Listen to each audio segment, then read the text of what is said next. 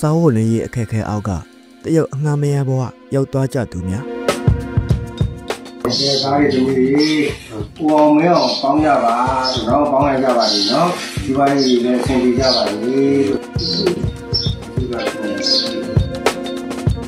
တရုတ်လင်းကျုံဘဝကိုရောက်နေကြမှန်းမသိကြတဲ့အမျိုးကောင်းသမီးပြိုများ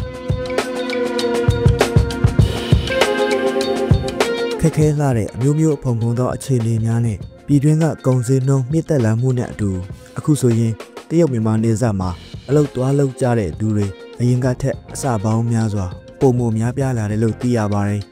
မလုံးလောက်တော့တဲ့ပြည်တွင်းလက်စားအစားပိုရတဲ့နေဆက်တွေကိုတိုးချဲ့လောက်ကင်လာကြပါတယ်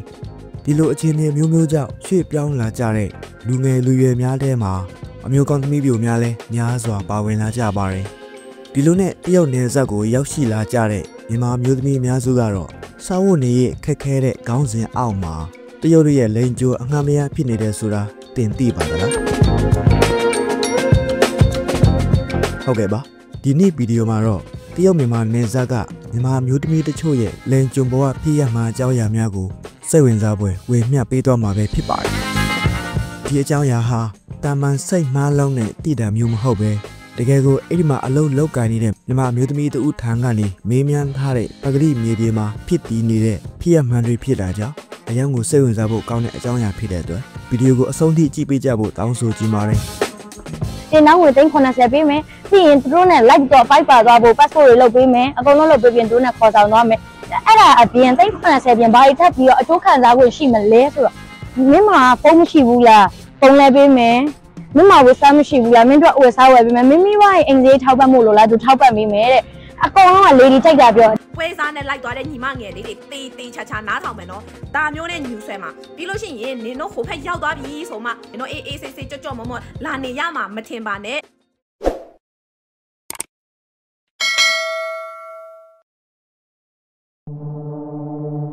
2024ခုနှစ်တစ်ဆန်းပိုင်းကနေစပြီးမြန်မာနိုင်ငံရဲ့နေဆက်အသီးသီးတွေစီ ရွှေ့ပြောင်းလောက်ကင်လာကြတဲ့အထက်မှာ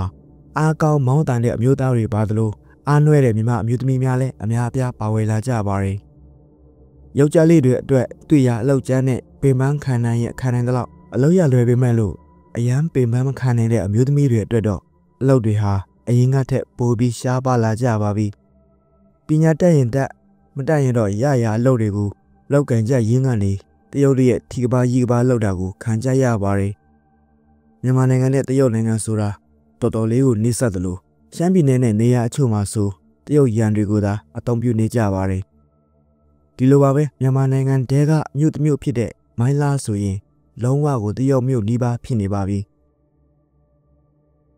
တရုတ်နယ်စပ်မြို့တွေမှာမိန်းကလေးတွေအလုပ်လုပ်ရင်ရွေးချယ်စရာအရန်ကိုနှဲပါလို့ပါတယ်ပညာနေတဲ့သူတွေအတွက်စပွဲတို့တချင်းကြီးဘာအကူကလပ်ဝိတ်တာ လောင်းစားရောအကူနဲ့အခြားကိုယ်ကာယအာကူပြီးအသုံးချရတဲ့အလုပ်တွေကိုလုပ်ကြရပါတယ်ပညာတတ်တဲ့သူတွေကတော့စီးရင်ကိုင်းကွန်ပျူတာစီးရင်နဲ့အခြားသောစီးရင်အင်းပိုင်းတွေမှာတရုတ်စာအခြေခံလောက်နဲ့လစာကောင်းကောင်းရအောင်လှုပ်ရှားနိုင်ပါတယ်နေစားမျိုးတွေကိုအလုပ်လုပ်ကင်ဖို့ရောက်လာကြတဲ့အမျိုးသမီးတော်တော်များများဟာပညာရည်အချင်းကလည်းနှဲကြသလိုရိုးသားတဲ့တောရွာကသူတွေများကြပါတယ် သူတို့လေးတွေဟာမရှိရှိတာလေးနဲ့ကုတ်ချစ်ပြီးပေါင်နှံရောင်းချကာတကူတကအလောက်လာလောက်ကြပါတယ်နေဆက်ကိုလည်းရောက်ရောအရင်ကလိုအလောက်ကလည်းရှာမရစားစရိတ်ကလည်းကြီးနေပြန်စရာလမ်းစရိတ်ကမရှိတဲ့အခြေအနေကိုရောက်ကုန်ကြပါတယ်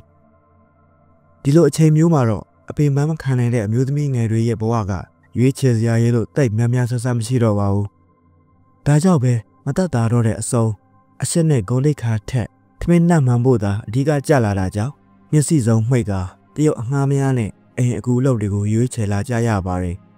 ။လူကိုလူချင်းမျိုးတဲ့မြန်မာလူမျိုးတွေရဲ့စိတ်ဓာတ်ကိုသိကြည့်ရင်နေဆက်မျိုးတွေကိုတွားကြည့်လိုက်ပါ။တကယ်အလုပ်လူချင်းလို့လာရောက်တဲ့သူတွေကိုခေါင်းပုံဖြတ်အမျက်ထုတ်ပြီးရင်ငွေရလွယ်ပါတယ်ဆိုတဲ့စကားနဲ့တရုတ်တွေထံပြန်လဲရောင်းစားတာမျိုးတွေပေါ်တင်ကျူးလွန်နေကြပါတယ်။အထူးသဖြင့်တော့မြန်မာမိန်းကလေးတွေကအဓိကကျူးလွန်ခံရတာပါ။ စားစရာကမရှိအလုပ်ကလည်းမရတဲ့အချိန်မှာတပတ်ဆယ်ရက်ကြာလာတော့ပွဲစားလူလိန်တွေရဲ့ဟိုတယ်ဝန်တန်းဆိုတဲ့စကားလုံးလှလှလေးအောက်မှာဘဝပြက်သွားကြတဲ့မြန်မာမိန်းကလေးတွေတူးနေသေးပါမြန်မာမင်းကလေးတချို့ကတရုတ်နယ်စပ်မှာတရုတ်အငှားမရအဖြစ်လိုက်ရင်းကနေအသက်မွေးနေရတာတွေကလည်းအများကြီးကိုရှိလို့နေပါတယ်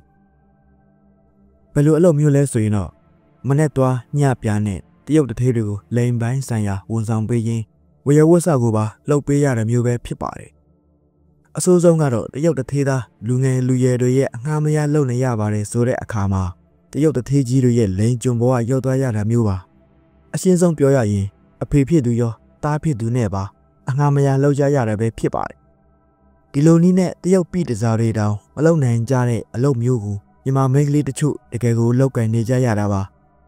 ဒီလိုစကလုံးနဲ့တင်ရုံရခက်တဲ့အလုပ်မျိုးကိုဘယ်မိန်းကလေးမှတော့မလုပ်ကျင်ပေမဲ့ချမ်းသာလာတဲ့တရုတ်တွေက မြန်မာမိန်းကလေးများရဲ့အသက်အပိုင်းခြားနဲ့ရုပ်ရည်အပေါ်မူတည်ပြီးမငင်းဆန်နိုင်လောက်တဲ့ငွေကြေးပမာဏနဲ့စာချုပ်ချုပ်ကမ်းလှမ်းထားတာပဲဖြစ်ပါတယ်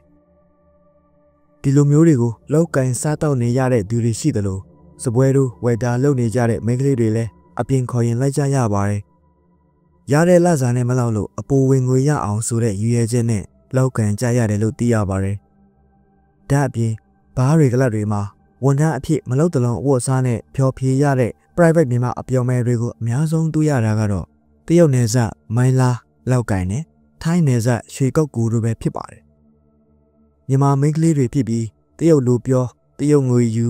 တရုတ်အငှားမရလုံနေကြရတာတွေဟာတကယ်ကိုစိတ်မကောင်းစရာဖြစ်ရပါတယ်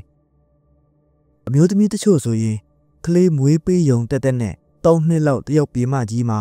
အငှားမရဖြစ်တွားရောက်လောက်ကန်ကြရပြီးမြန်မာပြည်ကိုပြန်လာကြတဲ့သူတွေလည်းရှိသလို မပြန်လာကြတဲ့သူတွေကလည်းရှိနေကြပါတယ်ရုပ်ရည်ယူပကားအပေါ်မူတည်ပြီးတိန်းရာနဲ့ချီပုံပေးကအငှားခေါ်တာတွေလည်းရှိသလိုလူကုန်ကူးခံရပြီးရောင်းစားခံရတာတွေလည်းရှိကြပါတယ်တေချာတာကတော့ဒီအလုပ်ကိုလုပ်ရတဲ့သူတွေအားလုံးနေပါဟာသူတို့စိတ်ဆန္ဒသဘောအရလုပ်နေကြတာမဟုတ်ပါဘူးတချို့ဆိုမူရစ်ဆေးထိုးပေးပြီးဆေးဆွဲအောင်လုပ်ပြီးမှဆေးနဲ့ခန္ဓာနဲ့လဲအောင်ရောက်မှကြတဲ့သူတွေလည်းရှိကြပါတယ် မြန်မာမိန်းကလေးတွေအနေနဲ့ခက်ခဲလာတဲ့အခြေအနေတွေကြားထဲကရုံထွက်ဖို့ကြိုးစားရင်းကနေလမ်းစာရသွားကြတဲ့သူတွေလည်းရှိသလိုတမကောင်းစွာပဲဘဝပြတ်သွားကြတာတွေလည်းပုံများလာကြတယ်လို့လည်းသိရပါတယ်ဘဝဆိုတာတမတမကြတဲ့နီလန်းရောတမယုံမကြတဲ့နီလန်းနဲ့ပါရှင်တန်နေရတာတွေကအများကြီးပါလုံးရဲလှတဲ့ငွေရှင်ကြီးရှင်တဲ့မြန်မာလူပွဲစားကြီးတွေကိုလည်းအအောမိပါတယ်လူကုန်ကူးတယ်ဆိုတဲ့အဖြစ်အပျက်တွေနဲသွားပြီဆိုပေမဲ့ အလောက်ရှာပေးမယ်ဆိုပြီးနေဆက်လိန်ခေါ်သွားပြီးရင်အပြော်မဲရောင်ရောင်အငှားမရရောင်ရောင်နဲ့ဘဝဆောင်ရတာတွေလည်းဒူနဲ့ဒီကိုရှိနေကြပါတယ်အင်မမင်းကလေးတွေအနေနဲ့ပြပကိုအလုတ်ထွက်လုပ်မယ်ဆိုရင်မိဘဆွေမျိုးထောက်ခံချက်နဲ့ယုံကြည်စိတ်ချရတဲ့သူမျိုးတွေနဲ့မှသာတွားရောက်စီခြင်းပါတယ်မတိကျမရေရတဲ့ထိုင်းနယ်ဆက်တရုတ်နယ်ဆက်တွေကိုတတ်နိုင်တဲ့လောက်ရှောင်ကျဉ်စေခြင်းပါတယ်လူကိုလူကမျိုးတဲ့ခေတ်မှုငွေရရင်ပြီးရော ကိုချင်းမစားတတ်တဲ့အတ္တသမားလူတွေလက်ကနေကင်းဝေးကြပါစေလို့ဆန္ဒပြုရင်းညှဝေပေးလဲရပါတယ်